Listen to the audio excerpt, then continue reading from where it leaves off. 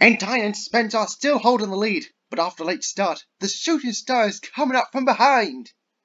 He's overtaken the Flying Scotsman and Axel. I don't know what's happening, but oh, it looks like the Shooting Star is having some kind of trouble. I think it's all over. It is now. His boiler has burst.